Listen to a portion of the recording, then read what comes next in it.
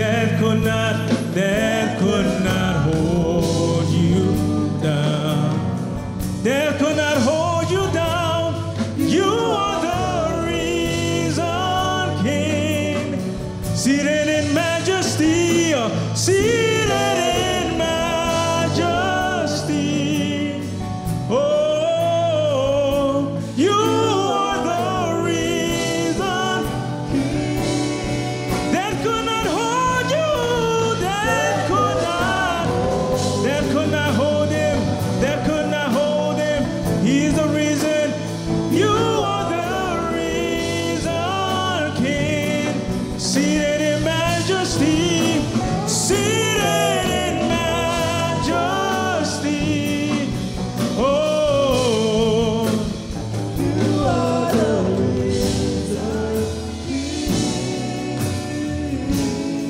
clap your hands for the Lord tonight, amen. Come on, clap for the Lord tonight.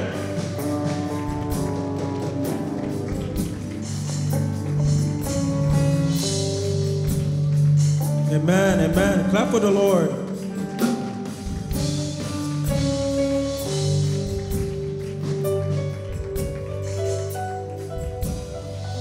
Father, we just want to thank you.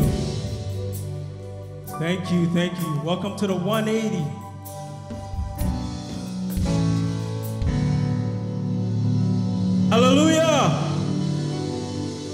How many of you are blessed to be here tonight? Amen. If you're blessed, lift up your voice and say it. Amen. Hallelujah. God is indeed in here tonight. He's in this house. The presence of the Lord has filled all over this place. I see the atmosphere of the Lord in this place. And I don't know about you. You need to tap into the anointing of this house tonight. Amen. How many of you are blessed to be here tonight? It was amazing, wasn't it? God is truly amazing and He's truly at work. Amen, amen, amen. Well, again, God bless you. It is great to come into your homes tonight. Those of us that are watching us online, we want to thank you. And we hope that you will stay connected with us throughout this month and the one to come. Amen. You can follow us on our Instagram pages. You can also follow us on YouTube. And you can also watch our messages and our services. Amen. And God is indeed doing something amazing here at 180. If you believe it, shout amen.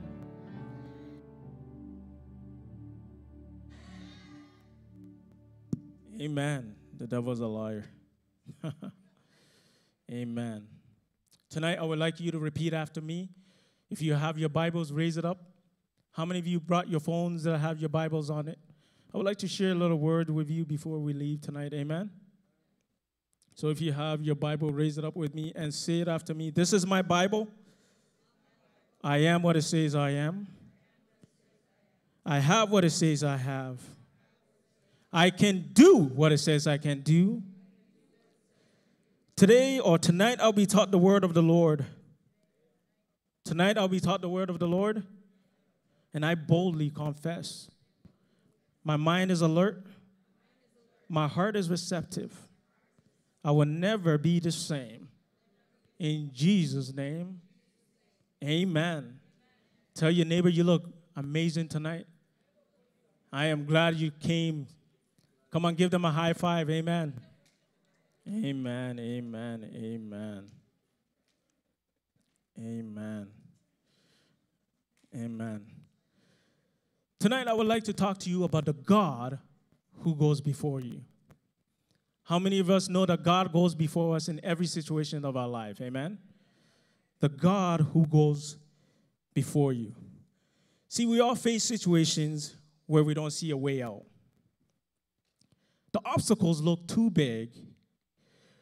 We have had this problem for so long that our dream of coming out of it seem impossible. How many of us can relate to that? That the obstacles look so big that our dream of coming out of that situation looked impossible. This is the way the Israelite felt. They were headed towards the promised land. that God promised them. They had all kinds of people coming against them from every direction. Opposition from every direction were trying their best to take them out. They felt overwhelmed.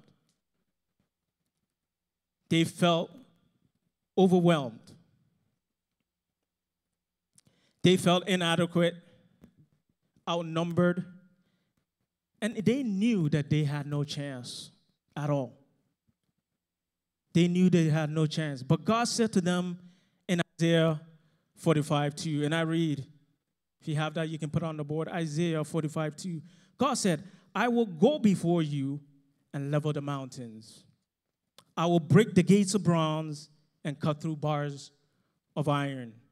Verse 45 3 says, So that you will know that the Lord your God, the one who summons you by name, the Lord your God, the one who summons you by name, have your back. Amen. See, you may have big obstacles in your past, situations in your health, situations in your finances, in your relationship. You don't see a way out, and the odds are against you. But God is saying to you tonight what He said to them I will go before you and level the mountains. How many of you believe that? That the Lord will go before us and level the mountains. And he says, I will break the gates of bronze and cut through bars of iron. Whatever is trying to stop you, a mountain of sickness, a mountain of addiction, a mountain of depression, it may look like a dead end. But remember, that mountain has no match for our God. Amen. It may look like a dead end, but it has no match for our God. One touch of his favor, and he would turn that mountain into a level ground that means you wouldn't have to climb over that mountains. That means you wouldn't have to what? Climb over that mountains. That means it's going to get easy. It's going to get easier. Amen. Think. The devil's against me tonight. We bind that in Jesus' name. Amen. You're not going to struggle, work, worry, or fight. God will smooth that path all out for you. Amen. It may be a mountain now. I want you to know that it may be a mountain now. It may look intimidating, but don't worry, it's about to become a level ground. God is about to level it down for you. Amen. If you believe it, shout amen. In the scripture, the word used for God's power in the original language is dunamis. That's what we get our word dynamite from. And you know what dynamite does? It brings down what? Buildings. It clears out anything that is in its path, obstacles in your life, those mountains that has been holding you back. I can see it right now, God putting that dynamite into leveling your, your ground. Amen. I can see God putting that dynamite leveling your path. If you believe it, shout amen. See, you've been faithful, you've given, you've served.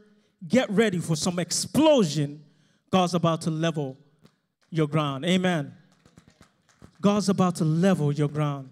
An explosion of healing, an explosion of freedom, an explosion of wealth. Many of you are about to receive an explosion of what? Wealth. Those obstacles that has held you back are about to be blown away. God says, I will level your mountain he says, I will not make a tunnel through them. I will not make a path through them. I will not give you the strength to go around them. God said, I will not give you the strength to go around them. God's going to do something unusual, something out of the ordinary. The scripture says, So you will know that He is the Lord God Almighty. Amen. So you will know that He is God all powerful. He's going to do something in your life where you, you have no doubt that it was God. You will not only know, but people around you, people in your circle will know that it was God. Amen. When God parted the Red Sea, the Israelite went through it on a, a dry ground. Pharaoh and all his house and all his men knew it was God. When Lazarus was raised from the dead, everywhere he went, people stood in awe of the power of God. God wants to give you some evidence. Tell someone God wants to give me some evidence. God wants to give you some evidence. Something that you can't dispute. You can't dispute it at all. Something that you just cannot dispute. You couldn't have made it. You didn't have the talent. The medical report says you're not going to make it. Many of you, the medical, medical report says you will make it. Some of you come from a long line of addiction and you feel like you're next. Many of you, many of us feel like we're next because of our past generation, their sins. But the Lord who called you by name, He went ahead of you and leveled your mountains. God went ahead of you and leveled your mountains. Now everyone can look at you and see the blessing of God on your life. If you believe it, shout amen. God wants to make you an example of his goodness. God wants to make you what? An example of his goodness. You may have seen your, his favor in the past, but get ready, you haven't seen anything yet. God has some explosive blessing that's going to catapult you into your next level. It's good to remember the great things that the Lord has done for us. It is amazing to remember the past, but God doesn't want you to live on past evidence. Tell someone God does not want me to live on past evidence. Always talking about how great you were when you were growing up, always talking about how awesome you were, your glory days. God does not want you to live on past evidence. That's all fine, but He's about to give you something new to talk about. He's about to give you some fresh evidence. God's about to give me somewhat fresh evidence. That means things that has held you back for years, addiction, lack, depression, insecurities. This may be your, in your family line or your, your, in your generation, but it's certainly not your destiny. Amen. Remember, your thoughts will tell you, just accept it. That's who you are. God is saying, I'm about to break that generation curse. I'm about to put an end to that curse. Amen. God's saying, I'm about to put an end to that, to whatever has held you back. The, that depression is not staying in your family line. That addiction is not staying in your family line. That struggle, that lack is not your destiny. That lack is not your destiny. That struggle is definitely not your destiny. This is a new day. The God who spoke worlds into existence is breaking change. If you believe this, shout amen. The God who spoke world into existence is breaking chains. You're stepping into new seasons. You're going to have new strength like you never had. Things are going to fall into place. God is making things happen that you couldn't make happen. God who goes before you. The God who goes before you is breaking chains. This is your year of yes. Yes to your healing. Yes to any demonic hold over your life. Yes to the right people God has in store for you. If you believe it, shout amen. Yes to seeing new doors open. Joshua chapter 24, the Israelite were going through were going against seven nations that was bigger and stronger. They had more equipment and more training. The Israelite on their own didn't have a chance. They couldn't have, you know, they couldn't have retreated and say, This is not meant to be. We will never take this land. This is not for us. There was no way in the natural, but God's ways are not our ways. There was no way for them to take the land that God has promised them, the land of milk and honey. But God's ways are not our ways. He said to them in verse 12, I will send hornets ahead of you to drive them out of the land. You wouldn't have to do anything in your own words. Amen. If you believe it, say amen. He says, I will give you the land you didn't work for, the cities that you didn't have to build. God said, I'll give you lands that you didn't work for and cities that you didn't build. God wants to give you lands you didn't work for. God wants to give you cities you didn't have to build. God wants to give you wealth. God wants to give you riches. Amen. How did get God get rid of these seven powerful nations? Did he send in tanks? Did he send in the Navy, the Marines? Did God call down angels to come? Or did he tell Angel Michael to come and deal with the situation and break the chains of bronze? No, he sent insect. He sent hornets ahead of them so they didn't have to fight. God has ways to do things you never thought of. God has ways to do things that you just never thought of. Amen. He may not do it in traditional manner. Quit trying to figure it out. Many of us always trying to figure what God is about to do next. Quit trying to figure it out. Quit trying to figure everything about God. Remember, He's in control. The God who goes before you is in control of your life. Amen. And He knows how to get you to where you're supposed to be. God knows how to get you to where you're supposed to be. If God showed all that He has in store for you, many of us will say, God, that's not for me. Many of us will say, No, God, I can't do this. You will tell God, I don't have the training. God, I don't have the talent. This is certainly not for me. But the God who goes before you is going to give you lands that you didn't have to work for. If you believe it, shout amen. If you believe it, shout amen. Glory be to God. The Orthodox Church, the Macedonian church that were here before us, were in this building for 30 years. In 2013, they wanted to move out. They wanted to move out of this building and build a new church. The members would have to pay for most of the construction. The members of that church that was in here had to pay for most of that construction. So they had to put it up for a vote, and the members voted no. They didn't want to pay, so the church couldn't move out. And that was in 2013. Two years later, it was put on for a ballot again. This time, the members voted yes. The Orthodox Macedonian church was cleared to move, and they built their new church. And what's interesting is that if they voted, if the vote was passed the first time, if the ballot that they wanted to pass was passed the first time, Dominion Miracle Center, our, our main church, wouldn't have been ready for this facility. DMC has just lost its building. We have just lost the building that God gave us. We were working through changes, trying to keep the church together, not sure what's going to happen.